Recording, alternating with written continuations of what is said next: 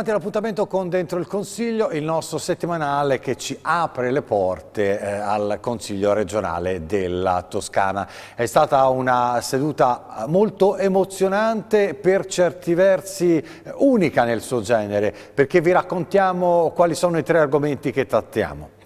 In primis c'è stato una rosa bianca, un videomessaggio e un ricordo eh, commosso mm, da parte dell'Aula a Davide Sassoli. E poi sono stati scelti il Presidente del Consiglio regionale, il Presidente della Giunta e il portavoce dell'opposizione per andare a Roma eh, per eh, votare il nuovo Presidente della Repubblica. E poi attenzione perché Elisa Tozzi lascia la Lega ed entra nel gruppo misto Toscana domani. E quindi partiamo dall'inizio della seduta d'aula, dai primi momenti, rivivremo insieme proprio quegli istanti perché una rosa bianca è stata appoggiata su un tavolo accanto alla bandiera blu stellata dell'Unione Europea nell'aula riunita in memoria di David Sassoli. Poi è stato ascoltato il videomessaggio che il Presidente del Parlamento europeo invitò, eh, inviò anzi all'Assemblea toscana in occasione della seduta solenne della festa dell'Europa lo scorso eh, 10 eh, maggio. Ehm, il saluto eh, c'è stato poi da parte dell'Aula al termine del riascolto di questo videomessaggio con un lungo applauso. Il Consiglio regionale della Toscana ricorda così la figura di David Sassoli, il giornalista e politico morto l'11 gennaio scorso. Nato a Firenze, ehm, David Sassoli ha mostrato sempre vicinanza e sostegno alle iniziative della Toscana. Vogliamo anche ricordare, e lo approfondiremo nelle prossime settimane, anche il Media Center, il centro multimediale del Consiglio regionale della Toscana che sta nascendo, porterà il suo nome, sarà intitolato a David Sassoli. Anche noi facciamo un ricordo proprio di Sassoli Sassoli eh, vedendo quello che è accaduto eh, nell'aula, ascoltando integralmente il messaggio che aveva inviato David Sassoli per la festa della Toscana dello scorso maggio e poi eh, vedremo anche eh, l'applauso e l'emozione eh, dell'aula.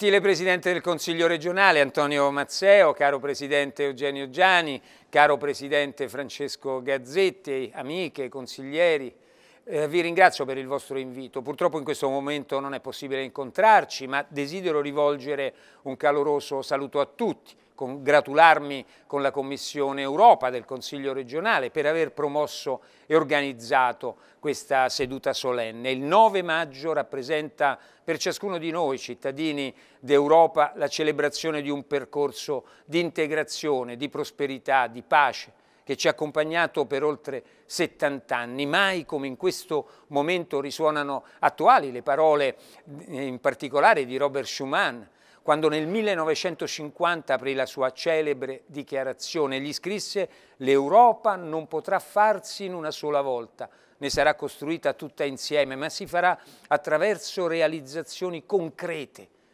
creando prima di tutto una solidarietà di fatto. La forza di quelle parole attraversa la nostra storia comune, ci indica la strada che dobbiamo percorrere. Anche quest'anno la ricorrenza della festa dell'Europa coincide con un momento eh, davvero complesso per le nostre comunità, per l'Unione Europea e per il mondo la drammatica crisi del Covid è stata un vero e proprio spartiacque, lo sarà anche in futuro, perché è un evento devastante, inatteso, il virus è riuscito a mettere in evidenza le contraddizioni di un mondo globale senza regole, che specialmente negli ultimi vent'anni non ha fatto altro che produrre fratture, disuguaglianze nel nostro corpo sociale. Tutto ciò ci pone dei grandi interrogativi come cittadini, come decisori politici. La risposta è che non possiamo tornare al mondo di prima, mi rivolgo soprattutto ai giovani studenti che sono collegati, che saluto. La pandemia non può essere una parentesi, ma deve essere considerata un'occasione per cambiare, per progettare insieme un futuro più giusto, con meno disuguaglianze. Non si tratta di recuperare le ricette del passato, ma di leggere con lenti diverse le sfide della contemporaneità. Non dobbiamo avere paura della complessità e non è più accettabile. Un'economia senza morale, uno sviluppo senza giustizia, una crescita a scapito delle generazioni future. In questo senso il Recovery Fund e il Next Generation EU rappresentano non solo la risposta europea alla pandemia e agli effetti che ha prodotto, ma anche una grande opportunità per realizzare nuovi modelli capaci di conciliare crescita e sostenibilità. In questo momento storico è fondamentale agire insieme, proteggere la nostra coesione sociale, incoraggiare un'Europa a discutere, a fare politica, a cercare convergenze, vuol dire rafforzare la nostra democrazia e rendere i cittadini protagonisti di questa grande e straordinaria comunità. La politica non può essere per pochi, e in questo senso credo che la conferenza sul futuro dell'Europa rappresenti davvero una valida occasione per stimolare, coinvolgere le nostre opinioni pubbliche. La democrazia si basa sulla partecipazione e noi dobbiamo recuperarla a tutti i livelli. Questa iniziativa si sostanzia attraverso la partecipazione diretta delle istituzioni nazionali e locali, della società civile, dei giovani, delle università, delle imprese, del mondo del lavoro e vuole essere un momento di ascolto ma anche di elaborazione di idee. Il destino dell'Europa è nelle nostre mani oggi più che mai, perché dobbiamo affrontare tante sfide che la contemporaneità ci mette davanti e per affrontarle c'è bisogno del contributo di tutti e credo che la Toscana non solo farà la sua parte ma saprà offrire a tutti un esempio di come vivere, di come interpretare le sfide di questo tempo. Con questo augurio vi saluto, vi auguro buon lavoro, naturalmente spero, passata la pandemia, di potervi incontrare di persona. Buona festa dell'Europa!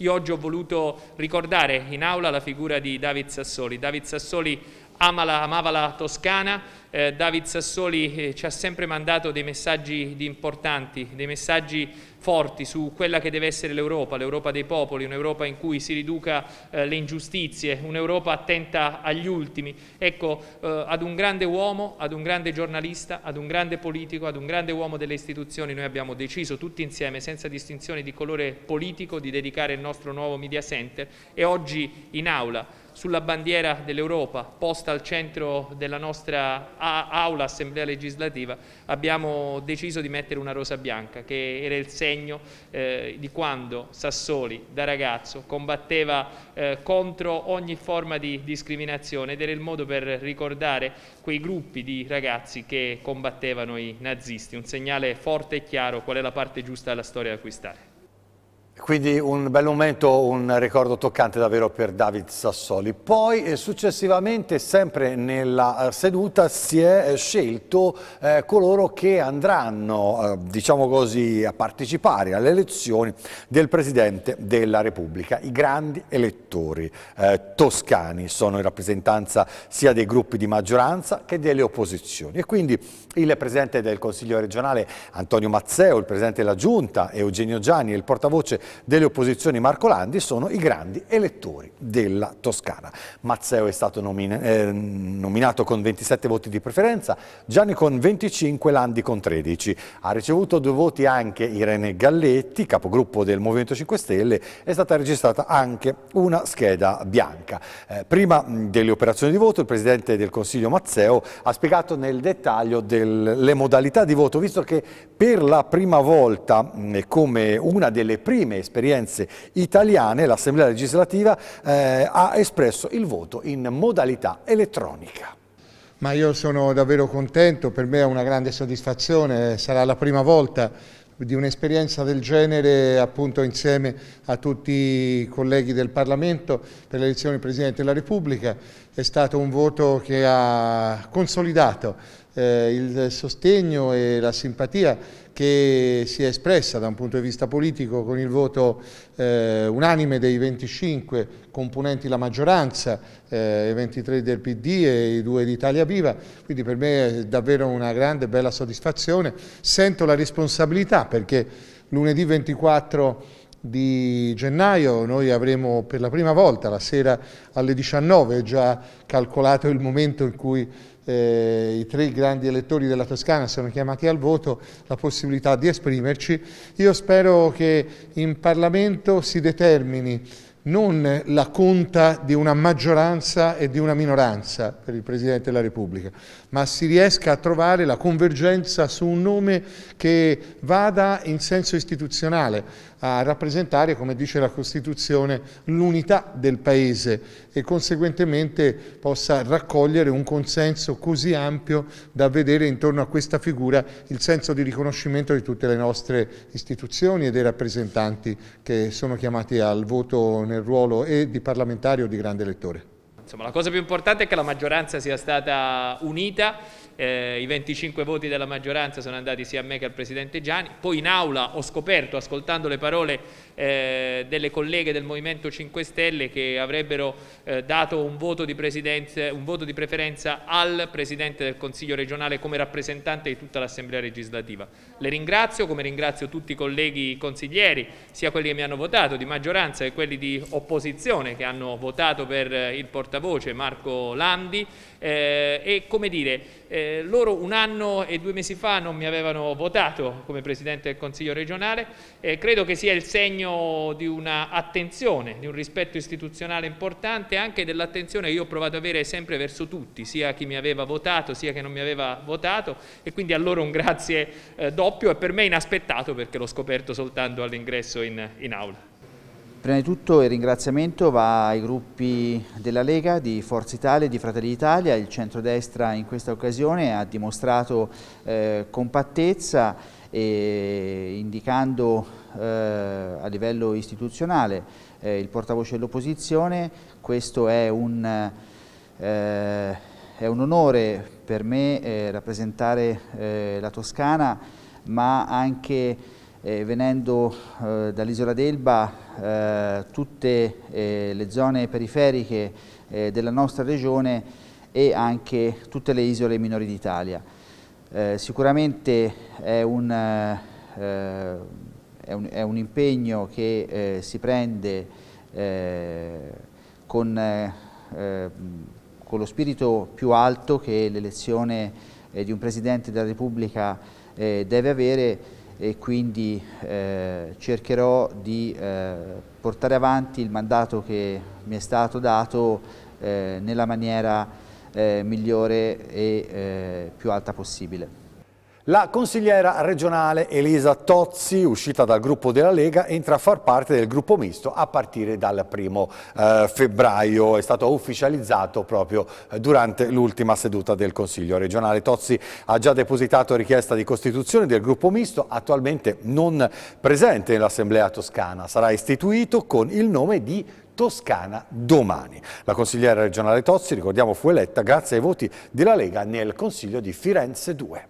Certamente è stata una scelta non facile, dopo aver condiviso un anno di un percorso consigliare che sotto il profilo umano eh, è stato anche intenso. Certamente però, eh, come in ogni situazione che si può verificare eh, diciamo nella vita quotidiana, a un certo punto ci si accorge che questo percorso politico non è più condivisibile. Non lo è perché in questo anno eh, ci si poteva aspettare di più sotto il profilo anche dell'evoluzione e della maturazione di un partito che ancora oggi tende ad essere estremamente settario, un partito che ancora oggi guarda con diffidenza al ruolo centrale della provincia di Firenze, un partito che eh, forse ancora non sa cogliere la sfida di una maturazione, di un'evoluzione, eh, che invece credo oggi eh, debba un po' interessare tutti quanti noi, soprattutto come consiglieri regionali, come coloro che si pongono come classe dirigente. Non è possibile come dire, rimanere all'interno di una costruzione che forse oggi eh, dovrebbe maturare e porsi più al passo coi tempi rispetto invece a una situazione che ho trovato non ricettiva su alcuni passaggi. Ecco, questo è quanto. Anche a livello di linea nazionale è rimasta sempre una linea molto ambigua, una linea che non ha voluto mai dare chiarezza ed evolversi in una direzione che forse eh, anche dentro questa consigliatura, questo Consiglio regionale, rischia di relegare la Lega più diciamo, ad un ruolo di marginalità rispetto alla centralità che invece aveva all'inizio eh, come forza trainante del centrodestra. Ci sono questioni che purtroppo riguardano la maturazione del partito e questa maturazione in termini di contenuti, magari meno like, meno personalismi, ma forse anche più eh, come dire, guardare anche alla qualità, al merito, alla prospettiva, ecco, su questo poi dopo alcuni equilibri si rompono perché poi le visioni cominciano ad essere diverse. Io credo invece che oggi la politica debba andare nella direzione di recuperare credibilità, soprattutto in un momento difficile come questo. Quindi la sfida grande è quella soprattutto di riuscire a ridare una speranza alle persone in una fase eh, diciamo, difficile come quella che stiamo vivendo. Questa è la grande sfida. Se non la si coglie ma si preferisce rimanere all'interno di un orticello sicuro, ecco, allora è lì eh, che, che, comincia diciamo, ad inclinarsi un equilibrio. E per questo appuntamento è tutto, vi ricordo per gli approfondimenti e tutti gli aggiornamenti c'è il sito internet www.inconsiglio.it. Io vi ringrazio per essere stati con noi e vi aspetto come sempre qua tra sette giorni dentro il Consiglio.